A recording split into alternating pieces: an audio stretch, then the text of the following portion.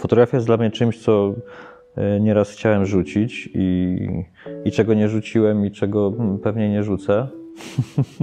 Łatwiej jest zrobić zdjęcie atrakcyjne, ale żeby za tym zdjęciem e, stało coś więcej, to jednak cały czas tam z tyłu jest fotograf i on jest za to odpowiedzialny. Ja, ja na przykład fotografuję bardzo dużo skoków narciarskich i to się wydaje taka dyscyplina, która jest no, w zasadzie nudna i do oglądania, i do fotografowania. I, i właśnie tam są takie fajne, fajne momenty, kiedy naprawdę trzeba się nachodzić. Znajomość tego sportu, który chcemy fotografować jest bardzo ważna. Łatwiej nam będzie przewidywać, co się może wydarzyć, Cześć, dzień dobry, Krzysztof Basel, po prostu fotografuj.pl, Fotoforma.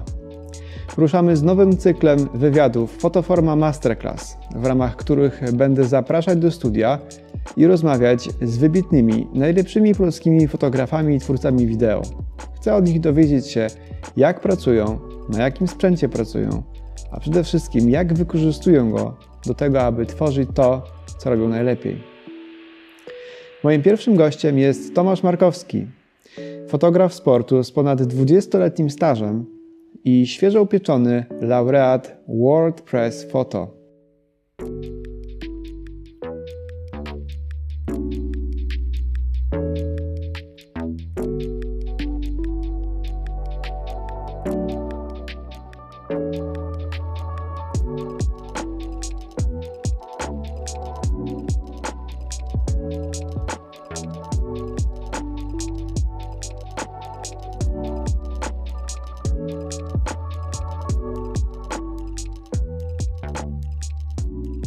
Myślę o Tobie, mm, to myślę o Twoim nagrodzonym zdjęciu fotografii, e, nagrodzonym na World Press Photo, trzecią nagrodą e, w kategorii sport za zdjęcie pojedyncze. I kiedy patrzę na to zdjęcie, to myślę sobie, co tam się tak naprawdę na tym Tour de Pologne wydarzyło. Nic przyjemnego się tym razem nie wydarzyło. Chociaż, chociaż skończyło się wszystko dobrze, ale to za chwilę. No doszło, do, tak jak wszyscy wiemy, do, do bardzo poważnego wypadku na linii mety e, dwóch, dwóch zawodników, rodacy, mm, prze, przepychali się przed samą linią mety, jeden drugiego wypchnął e, na barierki. To się działo wszystko przy bardzo dużej prędkości. Tam peleton jedzie w okolicach 80 na godzinę przed samą linią mety. Mm, No i, no i niestety skończyło się na bardzo poważnych obrażeniach e, Fabio Jakobsena. E, Nie wyglądało to na początku, że się skończy dobrze. E, Natomiast, natomiast skończyło, się, skończyło się dobrze, jak na, jak na taki poważny wypadek. Fabio Jakobsena na tej fotografii nie ma. Okay. Są jego nogi już w momencie, kiedy on wylądował za te barierki. Jest Dylan Chronewegen, który, który był sprawcą całego wypadku i zamieszania. E, Tam ucierpiało jeszcze kilku kolarzy, natomiast żaden aż tak bardzo jak Fabio. Fabio uderzył w te metalowe barierki, które oddzielają e, jezdnię od, zazwyczaj od publiczności. No, tym razem publiczności nie było, co jeszcze spotęgowało mm, cały ten wypadek. I, i no, taka była siła, że on te, to są metalowe barierki pospinane, pospinane takimi paskami plastikowymi. To wszystko poleciało w powietrze razem z rowerami, razem z zawodnikami. Jak daleko byłeś od tej sytuacji? My na, na linii mety, e, znaczy na finiszu stoimy, ja myślę, że może z 30 metrów, może z 50 metrów od, od, od mety. To jest taki, taki e, sprinterski finisz, więc tam musimy być dość daleko, bo to jest niebezpieczne. To jest miejsce, którym, które jest wyznaczone dla prasy, dla fotografów? To jest miejsce wyznaczone dla, dla fotoreporterów na wyścigach kolarskich. E, Nie stoją tam wszyscy fotografowie, którzy obsługują wyścig, bo, no bo tak jak mówię, tam jest miejsca mało, a jest, jest dość niebezpiecznie, żeby nie stwarzać zagrożenia dla siebie i dla kolarzy również. E, To stoi tam zazwyczaj kilka, czasem kilkanaście osób. E, I to jest z góry wyznaczone miejsce przez organizatorów wyścigu.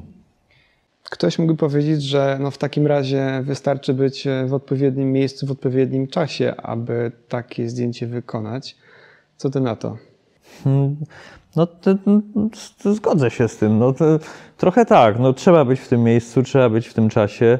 E, Ktoś mnie pytał przy okazji tego zdjęcia, mówi, jak to, jak to się stało, że ty się tam znalazłeś? No tam się znalazłem, bo zawsze tam stoimy na finiszu. E, więc jakby tutaj mojej inwencji wielkiej nie było.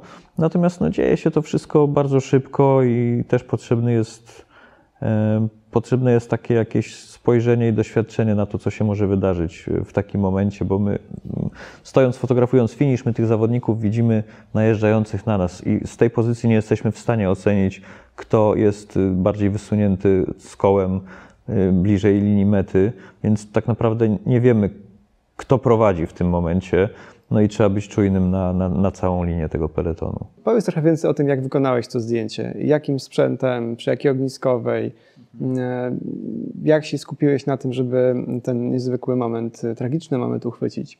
Znaczy ja korzystam na co dzień od, od kilku już lat z aparatu Sony A9 i to było tym aparatem zrobione. I, i to akurat zdjęcie, jeśli chodzi o obiektyw, to, to był jeden z moich ulubionych obiektywów, które, które używam przy fotografowaniu kolarstwa, skoków narciarskich. To jest taki zoom 100-400. Teoretycznie dos, dosyć ciemny, to, to 4,5, 5, 6 bodajże. Mhm. E, natomiast jest to bardzo, bardzo e, praktyczny obiektyw, taki wszechstronny jest nieduży stosunkowo, jak na taką ogniskową i no i jak widać z, z, z ostrością i szybkością też sobie radzi, więc, więc naprawdę bardzo fajna rzecz. Nie pamiętam, jakie były tam parametry na tym zdjęciu. Obiektyw był podpięty takiego korpusu? Do, A, do A9, do Sony A9. A9, nie Mark II. Nie Mark II, to jeszcze był ten, ten pierwszy. To był pierwszy aparat, który e, który w ogóle wprowadził mnie w świat aparatów bezlusterkowych. Ja nie wiedziałem, że istnieją takie aparaty, zanim nie, nie zostałem namówiony do tego, żeby spróbować robić zdjęcia czymś takim. Także to jest cały czas ten sam pierwszy, dokładnie ta sztuka. Czy patrząc na to, że zająłeś trzecie miejsce w World Press Photo w kategorii sport, Czujesz się w tym roku jednym z trzech najlepszych fotografów świata w swojej kategorii? Nie, absolutnie. Absolutnie. Ani w tym roku, ani nigdy się nie czułem jednym z lepszych fotografów świata. Cieszę się, że to zdjęcie zostało docenione, bo to jest dla każdego fotografa, mm, tak, tak myślę, duża sprawa. Y, jestem przekonany, że dużo świetnych zdjęć gdzieś po drodze mm, przepadło. Przy takich konkursach też tak naprawdę dużo zależy od, od subiektywnej oceny osób, które wybierają te zdjęcia, więc, więc absolutnie ani w tym roku, ani nigdy nie uważam się za jednego z trzech najlepszych fotografów. Tak jak mówię, cieszę się, że, że, że to zdjęcie przykuło uwagę, y, mimo niezbyt przyjemnej sytuacji, która na nim jest. Czy za tą nagrodą idzie coś więcej poza prestiżem? Czy dostajesz jakieś ciekawsze propozycje e, współpracy albo rozpoznanie w środowisku światowym? Nie, póki co propozycji pracy żadnych nie dostałem. Chętnie, chętnie wszelkie rozważę. Jeśli się takowe pojawią, e, zapraszam. Natomiast y, nie, jakichś takich wymiernych spraw jeszcze nie ma. To za dużo czasu nie upłynęło od tego. Wymiernych spraw jeszcze nie ma. Nawet, nawet dyplom, który przypuszczam jakiś oprawiony w ramki przyjdzie, jeszcze nie dotarł. E, duża, duża radość i może troszkę jest takiego, takiego prestiżu związanego z tą nagrodą. No gdzieś tam się zawsze o tym, o tym myśli. E, ile razy startowałeś w konkursie, żeby zdobyć tą nagrodę? Zakładam, że trzy. Tylko, że Pierwszy raz nie pamiętam, co to było za zdjęcie, i to było naprawdę dosyć dawno temu. E, drugi raz wysłałem zdjęcia w ubiegłym roku. Mm, również, żeby było śmieszniej, również z kolarstwa i również z wypadku kolarskiego. To zdjęcie gdzieś tam, gdzieś tam do, do, do dalszych etapów przeszło. I w tym roku wysłałem to jedno, jedno zdjęcie, to tak naprawdę jedną, jedną klatkę wysłałem w tym roku na, na, na ten konkurs. Ja nie jestem fotografem konkursowym, który dużo zdjęć na konkursy wysyła, wręcz przeciwnie. Raczej nigdy specjalnie mnie to jakoś nie, nie zajmowało. Jeśli dobrze kojarzę, to ponad 20 lat czekałeś na taką nagrodę. Tak, od y, Sport fotografuję ym, tak na poważnie, można powiedzieć, od 22 lat w tym momencie. Będzie 22 lat temu rozpocząłem współpracę z przeglądem sportowym. Ym, No i, no i tak, chwilę to trwało. Podjąłbyś tę decyzję jeszcze raz, żeby wejść w fotografię, mając to doświadczenie dzisiejsze? Tak, tylko myślę, że po drodze parę rzeczy bym trochę inaczej rozegrał, ale generalnie, generalnie nie, nie rezygnowałbym z fotografii. Jak patrzysz na te ponad 20 lat e, swojej pracy, mm, to jak zmieniła się rola fotoreportera, fotografa e, z Twojej perspektywy? No na pewno, na pewno zmienił się rynek takiej fotografii prasowej, rynek odbiorców naszych. Na pewno wszystko jest szybsze. Tych obrazków trzeba więcej, szybciej. Y, One szybciej odchodzą gdzieś tam w niebyt i potrzebne są nowe. Mm. Więc na pewno inaczej to wszystko działa i wydaje mi się, że fotograf też e, w takiej sytuacji, kiedy jest taka duża dostępność do, do zdjęć, do, do wykonywania zdjęć, e, do obrazów, ludzie fotografują telefonami. e, Myślę, że trochę większa odpowiedzialność jest takiego fotografa, który, znaczy odpowiedzialność, jakby ma za zadanie pokazać coś, coś więcej niż, y, niż tak naprawdę mogą zrobić, y, mogą zrobić inni fotografowie.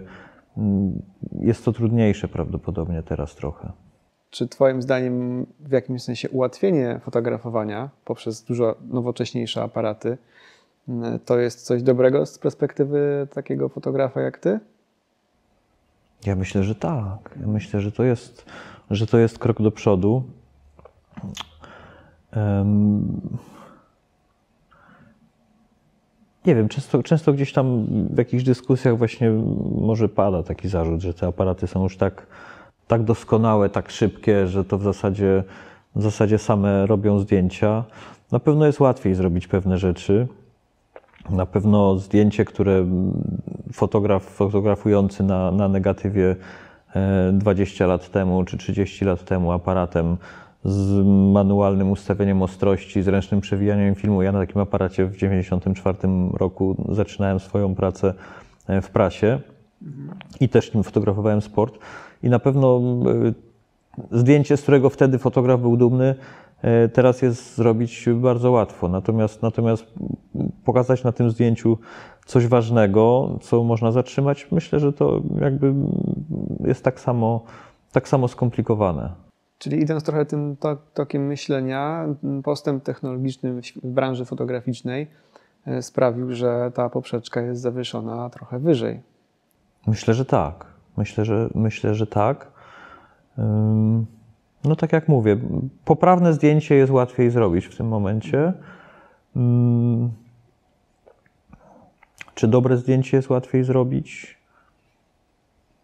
Nie wiem. Mówimy o tym, że technologia usprawniła aparaty, ma sprawiać, że fotografuje się łatwiej, ale może właśnie jest tak, że to, że wszystkim jest trochę łatwiej, sprawia, że coraz trudniej zrobić to dobre zdjęcie. Czyli jednak jest trudniej.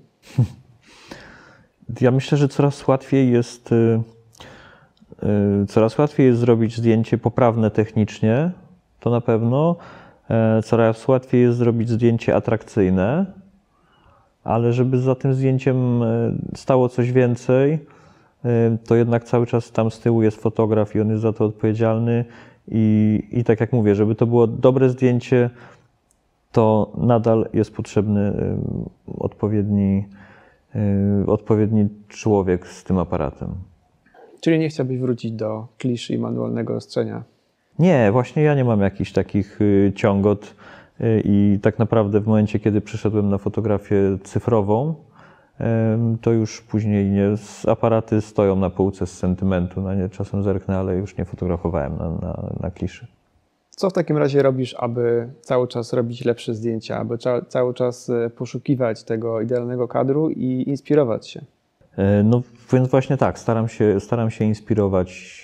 W zasadzie mm, to samo oglądać y, pracę innych fotografów. Mm, Nie żeby coś tam odgapiać z tej fotografii, tylko właśnie, żeby się czymś zainspirować, żeby jakieś nowe, nowe pomysły. To, to na pewno. No i cały czas. Ja, ja na przykład fotografuję bardzo dużo skoków narciarskich i to się wydaje taka dyscyplina, która jest no, w zasadzie nudna i do oglądania, i do fotografowania. No tam się nic nie może wydarzyć. I właśnie tam są takie fajne, fajne momenty, kiedy naprawdę trzeba się nachodzić, na, nakombinować, jak zrobić coś, y, czego jeszcze w skokach nie zrobiłem, czego jeszcze nie widziałem. Więc, więc jakieś takie, takie tego typu rzeczy, to myślę, że zawsze gdzieś tam jest jakaś, jakieś mm, poszerzenie horyzontów inspiracji. No właśnie, to może y, zejdźmy na ziemię, aby fotografować skoki.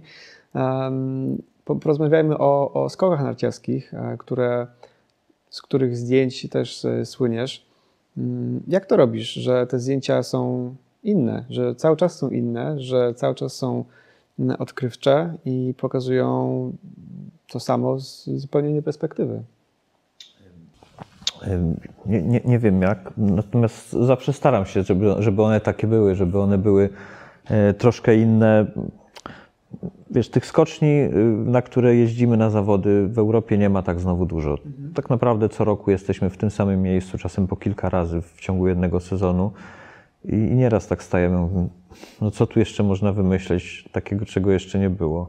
Czasami się wydaje, że już nie, y, ale zawsze z, po, z pomocą przyjdzie na przykład pogoda, zacznie albo sypać jakiś potężny śnieg, albo wręcz przeciwnie, wyjdzie ładne słońce, kolorowe niebo.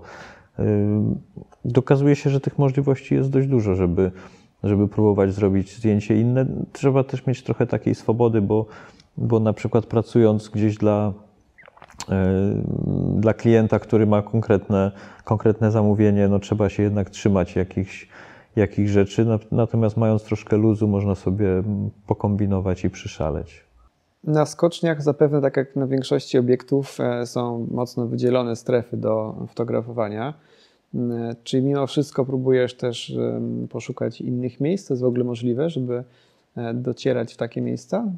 Tak, tak, tak. Te strefy są wyznaczone i zależnie od skoczni. Są niektóre skocznie, gdzie tak naprawdę nie bardzo jest możliwość coś, coś pokombinować ponad to, co jest przy samej skoczni i ponad to miejsce, gdzie stoją wszyscy fotografowie, ale jest też dużo takich skoczni, gdzie właśnie mm, staramy się wejść w jakieś takie bardzo nietypowe miejsca, z jakiegoś nietypowego miejsca robić to ujęcie z nietypowego kąta, gdzieś nawet czasem zupełnie poza skocznią, mm, w odległości kilkudziesięciu czy kilkuset nawet metrów od skoczni.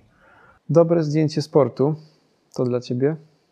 Dobre zdjęcie sportu e, to dla mnie jest po pierwsze takie zdjęcie, które, i to nie będzie jakaś wielkie, wielkie odkrycie, które jak najlepiej pokazuje emocje, które temu sportowi towarzyszą, a towarzyszą prawie zawsze jakieś emocje, nawet, mm, y, nawet jak to jest z pozoru jakaś nuda, to też coś, coś można pokazać. Natomiast, no, tak jak mówię, zdjęcie, które przede wszystkim pokazuje fajne emocje, pokazuje ten sport w sposób, wydaje mi się, nie do końca taki oczywisty i w trochę inny niż pokazują to kamery telewizyjne i niż widzą to ludzie siedzący na trybunach. Udało ci się wykonać takie zdjęcie? Czy to jest to nagrodzone? To, to nagrodzone zdjęcie, mm, tak sądzę, że na pewno pokazuje emocje i pokazuje. To jest takie bardziej reporterskie zdjęcie, mm, chyba do, dobre reporterskie, że pokazuje tak naprawdę wydarzenie, to co się stało, pokazuje emocje, które temu towarzyszyły. E, Natomiast, y, natomiast nie, no jest wiele dobrych, lepszych zdjęć sportowych pokazujących sport. Y, No, mi się też kiedyś uda takie zrobić zdjęcie, które tak pokaże to w pełnej krasie. Kiedy młode osoby chciałyby fotografować sport, e, co byś im polecił robić przede wszystkim? Od czego zacząć? Hmm. Na pewno od poznania tego sportu. To jest, ja to też często powtarzam, że tak naprawdę znajomość tego sportu, który chcemy fotografować, jest bardzo ważna. E, Łatwiej nam będzie przewidywać, co się może wydarzyć. E, Łatwiej nam będzie mm, y, wybrać właściwe miejsce, gdzie, gdzie stanąć, skąd fotografować. Więc tak naprawdę znajomość tego sportu i to nie musi być jakiś, jakiś wielki sport. To nie trzeba od razu zaczynać z takiej wysokiej półki i, i nie tylko skupiać się też na samych, na samych sportowcach, bo sport to nie są tylko sportowcy, wydarzenie sportowe to jest wszystko to, co tam nas w koło otacza, to są kibice, to jest... Ja, ja bardzo lubię te sporty, które ja fotografuję. Ja mało sport, sportów halowych fotografuję, ja ostatnio bardzo mało piłki nożnej fotografuję. Więcej takich sportów, gdzie właśnie gdzieś jest to związane z przyrodą, czyli właśnie kolarstwo, czy te skoki z górami związane, czy biegi narciarskie, czy, czy jakieś wodne sporty. Więc, więc to jest też, co otacza ten sport, gdzieś ta, to miejsce, w którym to jest rozgrywane, często bardzo ładne. Więc, więc na takie rzeczy, żeby zwracać uwagę. Jakie są Twoje ulubione sporty? Mówiliśmy tutaj o kolarstwie, dużo fotografujesz skoki narciarskie. Tak, ko kolarstwo tak, skoki narciarskie bardzo tak. Mm, bardzo lubię fotografować na przykład slalom kajakowy. Mm, to się dawniej nazywało kajaki górskie. Bardzo fajna dyscyplina sportu. E, bardzo widowiskowa tak naprawdę, w Polsce nie ciesząca się wielkim zainteresowaniem, ale no bardzo wdzięczna też e, rzecz do fotografowania. Hmm. Głównie to. No, tak naprawdę każda dyscyplina do fotografowania jest fajna. Biegi narciarskie, właściwie wszystkie sporty zimowe, narciarstwo alpejskie. Gdzie ci się najtrudniej fotografowało? Trudno mi jakieś takie konkretne, konkretne rzeczy sobie przypomnieć, ale na przykład, na przykład przyszło mi na myśl teraz poprzednie Mistrzostwa Świata w narciarstwie klasycznym, gdzie na podium z bardzo odległych pozycji wskoczył Kamil Stoch i Dawid Kubacki, zdobyli medale i wtedy się rozpętała taka gigantyczna śnieżyca, w której z jednej strony była wielka radość tych zawodników i, i, i fajnie było to sfotografować, a z drugiej strony było to prawie niewykonalne, ponieważ no, padały takie ogromne, grube płaty śniegu i wtedy to paraliżuje wszystko. Wszystkie, wszystkie takie miejsca są trudne do fotografowania, gdzie nam ta pogoda nie sprzyja. Dlatego też, też zawsze staram się jakoś przygotować do tych zdjęć od właśnie od takiej, takiej logistycznej jakby strony, czy takiego um, zabezpieczenia, zabezpieczenia sprzętu i siebie od, od pogody.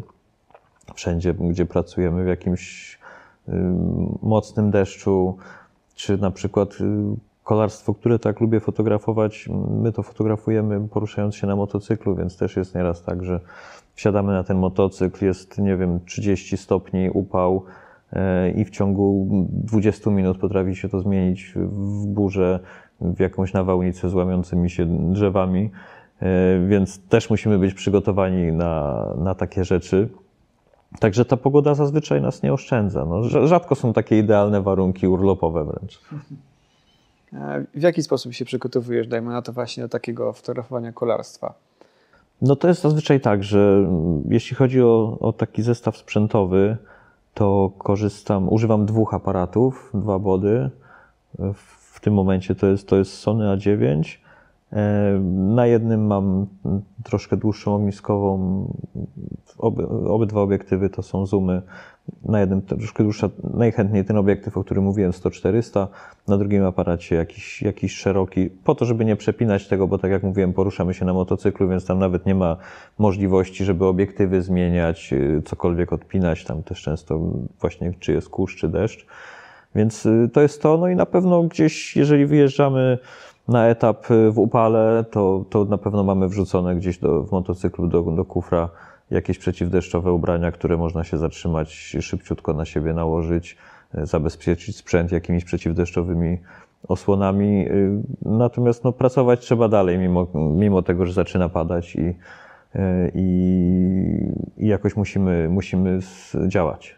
Jedziesz na, na motorze, siedząc jest kierowca i ty siedzisz za nim i fotografujesz w drodze jakby tych Tak, my się poruszamy na motocyklu. Ja mam kierowcę, który, który w zasadzie no, jedzie tak, jak ja bym chciał, czyli jak ja potrzebuję, żeby zjechać bardziej w prawo, bardziej w lewo, wolniej, szybciej, to my zawsze jesteśmy w kontakcie. Ja siedzę przodem do kierunku jazdy. Bo dawniej, dawniej fotografowie zdarzało się, że siedzieli tyłem do kierunku jazdy, ale to jest niebezpieczna zabawa. E, przodem do kierunku jazdy i my jako, jako te motocykle, które jadą w kolumnie wyścigu, możemy, możemy ten peleton wyprzedzić, czyli na przykład zatrzymać się gdzieś tak, żeby zrobić zdjęcie jakieś takie ładne krajobrazowo, niekoniecznie z motocykla e, i potem możemy dogonić peleton, wyprzedzić, gdzieś tam dalej pojechać, możemy trochę pojechać przed, przed kolarzami, e, więc, więc to jest fajne. Dodatkowo widać, no, peleton to jest jednak tam powiedzmy 200, 200 rowerzystów, do tego jest z 15-20 samochodów, które jadą za nimi i to jest taki organizm, który cały czas żyje tak naprawdę, bo te samochody muszą podjechać bliżej, żeby podać bidony, e, czasami jakiejś pomocy udzielić technicznej, więc tam się bardzo dużo dzieje w tym peletonie. A jak wygląda taka praca na odcinku? Ty masz jakieś miejsca też wyznaczone przez organizatorów, gdzie możesz się zatrzymać, fotografować? Możemy się zatrzymywać tak naprawdę. Ważne, żeby nie, nie powodować zagrożenia dla, dla, dla wyścigu, dla kolarzy i tak naprawdę możemy się zatrzymać wszędzie, gdzie, gdzie chcemy. I, no i to jest duży komfort. Fotografia sportu jest jednym z tych typów fotografii, w których sprzęt ma ogromne znaczenie. Jakim sprzętem e, ty fotografujesz i dlaczego? Ja szczęśliwie od y, trzech lat w tym momencie już fotografuję mm, bez, luster, bez lusterkowcami. To, jest, y, to są aparaty Sony A9. W tym momencie Sony A9 Mark II. Em, Masz takie dwa korpusy. Mam dwa korpusy y, i do tego cały, cały wachlarz obiektywów Sony G-Master. No to zobaczmy po kolei. Tak. Tak, to są te aparaty. Ja w tym momencie mam je bez, bez gripów. One z gripem mają dużo fajniejszy, dużo lepszy uchwyt, no i dwie baterie. Także to jest moje, moje narzędzie pracy od, y, od trzech lat. Ja w ogóle nie wiedziałem, że istnieją takie aparaty. Opowiadam to zawsze jako, jako dość zabawną historię. E, Kiedy, kiedy po raz pierwszy rozmawiałem e, z kolegą z firmy Sony, który zaproponował mi, e, żebym wziął do ręki ten aparat i spróbował zrobić z nim jakieś zdjęcia na sporcie, e, to ja w ogóle nie wiedziałem, że istnieją takie aparaty, które nie mają lustra i o co w tym wszystkim chodzi. E, No i tak z początku dość podejrzliwie, ale po jakimś, myślę, że 3-4 miesiącach używania równolegle e, z aparatem, z lustrem, em, przesiadłem się całkowicie na to już. Mm, Także Także to chyba potwierdza, że, że no, moje zadowolenie z tego, że tym się da zrobić. Wręcz przeciwnie, tym się bardzo dobrze robi. E, Fotografuję sport. Także to są, to są takie korpusy. Tu mamy korpus, e, a jakie obiektywy do tego? E, Do tego cały, cały wachlarz obiektywów, począwszy od obiektywów szerokokątnych, czyli to jest na przykład 16-35 G-Master, e, poprzez, ja akurat używam jeszcze 24-70 obiektywu, 70-200, E, Obiektywu, o którym już wspominałem i który jest jednym z moich ulubionych obiektywów, to jest 100-400 ze zmiennym światłem. Nieduży obiektyw, a dużo może. No i obiektyw, bez którego też sobie nie wyobrażam pracy i chyba żaden fotograf sportowy sobie pracy nie wyobraża, to jest y, 400 2.8. Jak takie małe dziecko trochę. Trochę tak, no. Są jeszcze takie troszkę większe dzieci, 600, ale jak dziecko, małe i bardzo lekkie dziecko. E, Bardzo, bardzo przyjazny obiektyw w- do pracy, którą wykonuję. Także te, te, te zabawki, które tutaj obok mnie leżą, naprawdę bardzo ułatwiają pracę i, i tak jak mówię, teraz już nie wyobrażam sobie zmiany, zmiany systemu na inny. Co od Ciebie przekonało do tego, żeby jednak e, pozbyć się tego lustra i wejść e, w, w epokę nowoczesną i epokę, w których e, mamy małe aparaty? Ja całe życie fotografowałem, fotografowałem lustrzankami nie zdawałem sobie sprawy, że, że istnieją aparaty, które nie mają lustra. Co mnie przekonało? Przekonało mnie na pewno, na pewno szybkość tego aparatu. Czyli szybkość zarówno jeśli chodzi o ilość klatek na sekundę, która w tym aparacie jest bardzo wysoka, e, w tym, e, w tym nowym produkcie Sony to jest bodajże e, A1. E, Jest już no, porażająco wysoka ta ilość klatek na sekundę. Autofokus, który ja zawsze, nie wiem czy to jest właściwe słowo, ale ja go określam jako bardzo stabilny autofokus. To jest autofokus, który ma, no, jak dla mnie przynajmniej, bardzo dużą powtarzalność. On gdzieś nie ucieka, nie, nie, nie gubi się, więc jest tak jak mówię, ta stabilność autofokusa jest dla mnie tutaj bardzo ważna. E, I rzecz, która mnie też bardzo urzekła i przekonała, to jest, to jest rozmiar tego. To jest to, że, e, że ja nie muszę dźwigać już wielkiego aparatu. Fotograf sportowy ni niestety nie siedzi w miejscu, tylko się porusza właśnie tak jak rozmawialiśmy, gdzieś tam włazi do lasu, w śnieg po pas, żeby gdzieś przejść przez jakieś ogrodzenie, zrobić zdjęcia e, i, i mnóstwo ciężkiego sprzętu na ramionach nie, nie pomaga w tym. E, ani w pracy, ani nie pomaga nie pomaga na kręgosłup na przykład, więc, więc to, co mnie urzekło i tutaj na przykład do kolarstwa, korzystanie z, z niewielkich aparatów, które są lekkie, które mam cały czas zawieszone na sobie, jest, jest wielkim plusem. Jak podróżujesz, to trzymasz sprzęt raczej w walizce na kółkach czy w plecaku? Ja, ja od lat mam, mam walizkę na kółkach, z którą podróżuję i to zawsze biorę na, na, jeżeli lecę samolotem, no to biorę na pokład ze sobą tą walizkę. Nigdy się z tym, z tym nie rozstaję, bo to może gdzieś polecieć w inny region świata i akurat może mi być potrzebne wtedy, kiedy, kiedy tam poleci. Także to wszystko mam spakowane w takiej jednej z walizek firmy Think Tank i no i to sobie tam wszystko bezpiecznie podróżuje i wszystko się mieści. Dzięki również dzięki tym gabarytom wszystko, wszystko jest tam ładnie poukładane. Ponad 20 lat temu, kiedy zaczynałeś pracę jako fotograf, fotograf sportu, o czym wtedy marzyłeś, jeśli chodzi o dostępność swojego sprzętu, o funkcje?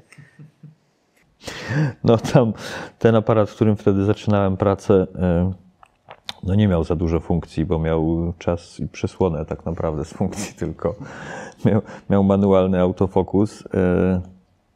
O czym marzyłem? Czasami opowiadam też to jako anegdotę, jak pamiętam, to było jeszcze przed moją pracą w przeglądzie sportowym, to mógł być rok gdzieś 95 może.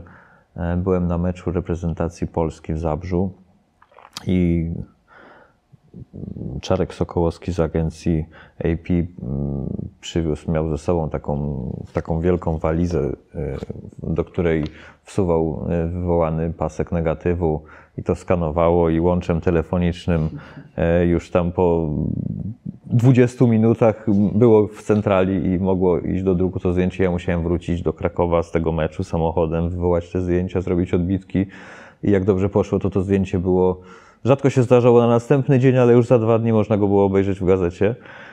I tak trochę wtedy właśnie to pamiętam, nie, że tak marzyłem. Jajku, jaka to jest szybkość. No nieprawdopodobna rzecz, tak? To było 25 lat temu powiedzmy.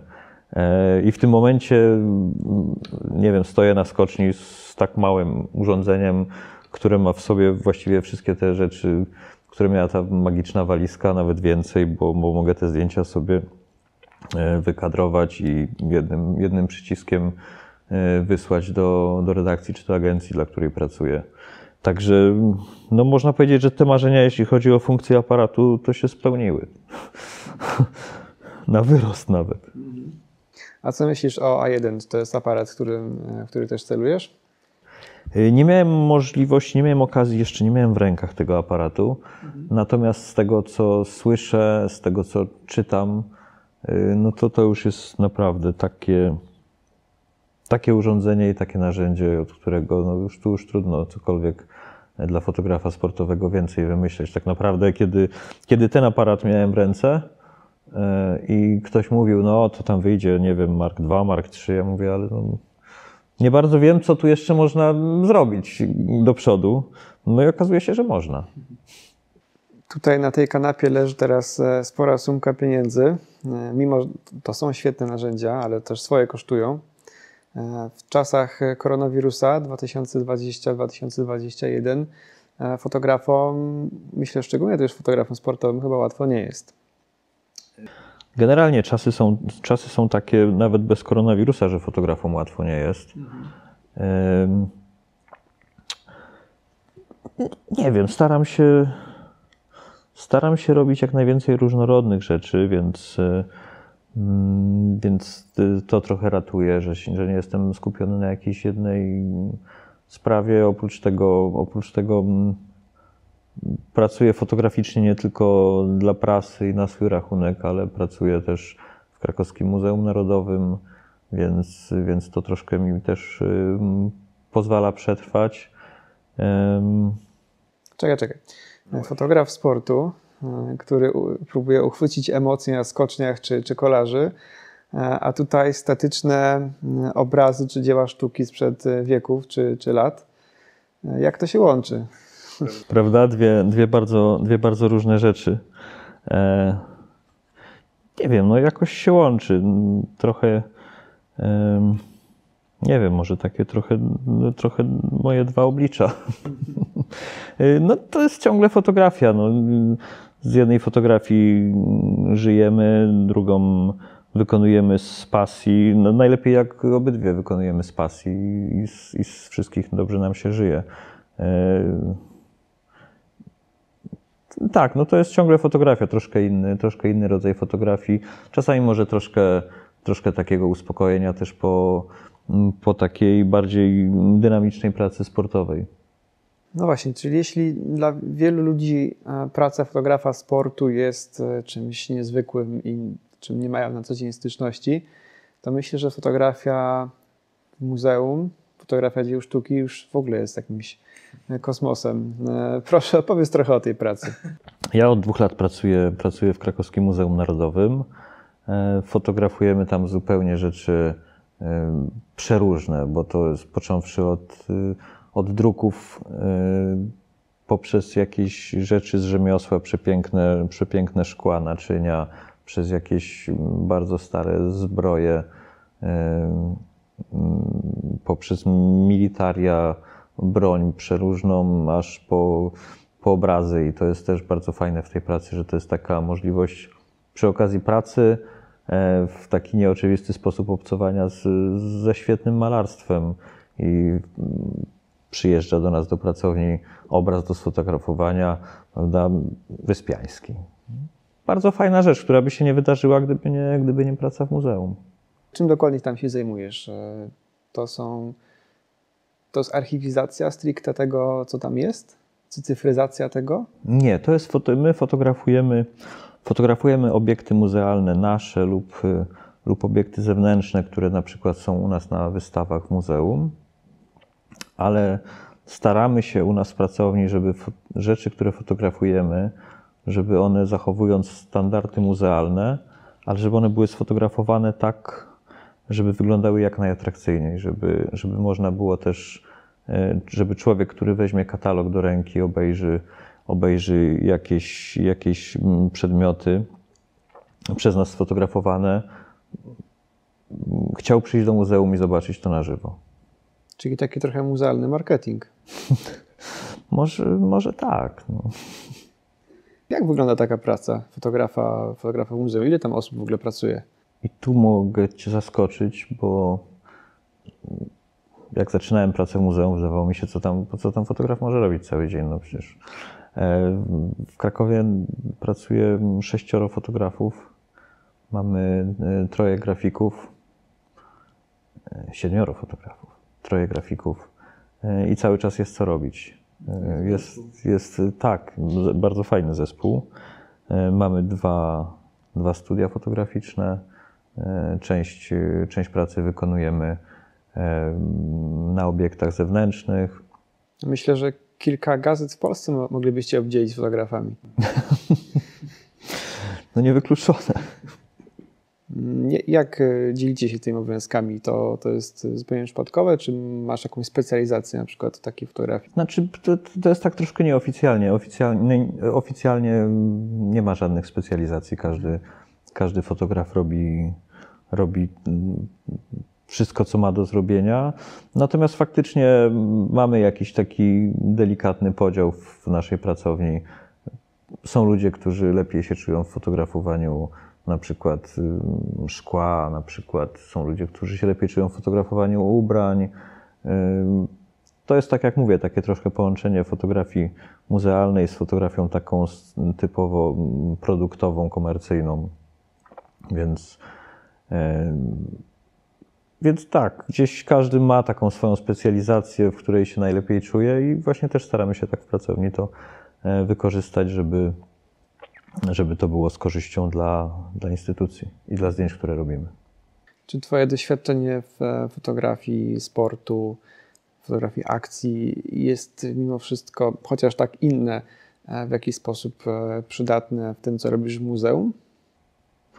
Mm. Nie wiem, trudno mi powiedzieć. Myślę, że może być przydatne generalnie doświadczenie w fotografii takiej prasowej. Może być przydatne w każdym innym rodzaju fotografii, bo, bo my się musimy często bardzo dostosowywać do warunków, w których panujemy, w których pracujemy, a nad którymi nie panuje, nad którymi powinniśmy panować. Czyli tak jak mówię, nagle zaskakuje nas pogoda, nagle zaskakuje nas to, że E, że coś jest y, rozgrywane później niż miało być, że ktoś z kim się umówiłem na portret nie przyjdzie, albo może nagle przyjść pół godziny wcześniej niż planowałem. I to jest takie przez lata takie dostosowanie się do sytuacji, które nas mogłyby zaskoczyć w takiej, wydawałoby się, spokojnej i zaplanowanej pracy.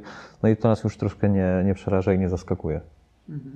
Jak patrzysz 20 lat y, wstecz, to czy są jakieś takie momenty, które sprawiły, że mm, zrobiłeś duży krok do przodu, jeśli chodzi o twórczość fotograficzną, że coś cię zainspirowało, coś sprawiło, że zmieniłeś sposób myślenia albo dostrzegłeś jakieś rzeczy, które mogłeś e, w sobie zmienić? Może trudno jest mi się tak cofnąć bardzo wstecz, bo zacząłem pracę w przeglądzie sportowym właśnie w 1999 roku. E, dość szybko dość szybko zacząłem posługiwać się tam na tamte czasy nowoczesnym sprzętem, e, ale to było dużo też takiej pracy szybkiej, więc, więc coś fotografowaliśmy, trzeba było zaraz robić następne, następne, dużo wyjazdów, dużo takiej pracy bieżącej. Na pewno, i to też powtarzam, mm, takim momentem dla mnie osobiście zwrotnym, jeśli chodzi o moją fotografię i o moją fotografię sportu i, i postrzeganie tego, była zmiana sprzętu, zmiana systemu. To, że się przesiadłem na przykład na te aparaty, pracuje mi się na nich wygodniej, szybciej. I to nie mówię, żeby jakoś fałszywie zachwalać. Autentycznie coś takiego się stało równolegle ze zmianą systemu przeze mnie razem z, z rozpoczęciem współpracy z firmą Sony, gdzie zacząłem troszkę inaczej też na te zdjęcia patrzeć, na to, że może, może na to, że mam w ręku sprzęt, który może więcej i bardzo fajnie byłoby to wykorzystać, również z mojej strony, e, wręcz zobowiązujące. Sprzęt, który pozwala mi na więcej fotografii. I troszkę, troszkę więcej też wyszedłem jakby na zewnątrz z tą, z tą swoją fotografią. Nie, nie, zacząłem pracować nie tylko dla gazety, e, Wiadomo, gazeta czy agencja, dla której się pracuje, ma swoje ograniczenia. Tam, tak jak mówiliśmy, potrzeba konkretów szybko. E, I zacząłem też szukać jakichś takich swoich, e, swoich dróg w tej fotografii sportowej. Właśnie takich, które, nie wiem, jakoś bardziej, mm, bardziej mnie scharakteryzują i, i, i które się będzie fajnie oglądało, tak, tak, tak jak mówię, troszkę do ludzi i żeby ci ludzie też zobaczyli coś innego niż może im pokazać telewizja. Fotografia jest dla ciebie? Fotografia jest dla mnie pracą. E, fotografia jest dla mnie fotografia jest dla mnie czymś, co e, nieraz chciałem rzucić i, i czego nie rzuciłem i czego pewnie nie rzucę. No i fotografia jest dla mnie sposobem na życie też. Oczywiście istnieje życie po fotografii i bez fotografii, doskonale zdaję sobie z tego sprawę i nawet brałem w tym przez jakiś czas udział. Y, natomiast cały czas gdzieś tam jest ta fotografia i do niej się wraca. I to jest też uciążliwe czasami, ale fajne. Co daje ci właśnie to, że możesz y, pracować y, czy na skoczniach narciarskich, czy fotografując kolarzy, czy inne sporty? no, fotograficznie daje mi dużo satysfakcji, że mogę bywać w miejscach, w których e, bez współpracy z gazetą na przykład bym się nie znalazł. To jest e, czy Tour de Pologne, czy, czy Igrzyska Olimpijskie. Daje mi, daje mi możliwość bywania w tych miejscach, daje mi możliwość poznawania fantastycznych ludzi również. Gonisz za emocjami, które tam są? Staram się za nimi nie gonić jakoś specjalnie. ale, ale jeżeli jest możliwość pokazania, to tak, tak. W sensie gonię, w sensie takim fotograficznym, tak, żeby to pokazać, wykorzystać e, tą rzecz. A ciebie to też nakręca? Daje ci taką, taki, taki boost, wiesz, taki dopalacz tego, że odczuwasz tą atmosferę zawodów i, i masz z tego też ogromną satysfakcję? Czasami tak się zdarza, to nie jest reguła. Czasami tak zupełnie mm, fotografujemy na chłodno i skupiamy się tylko i wyłącznie na, yy, na zdjęciach.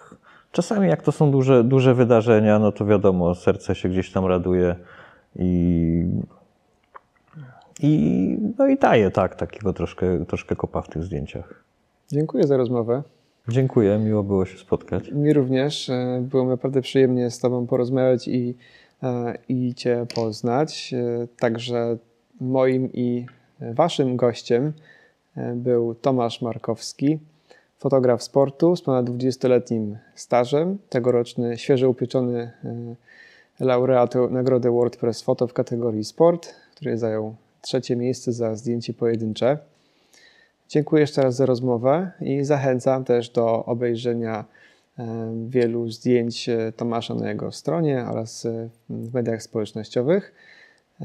Dziękuję też za uwagę i zapraszam do następnego materiału, następnej rozmowy z cyklu Fotoforma Masterclass, w których będziemy, będę rozmawiać z mistrzami fotografii i filmowania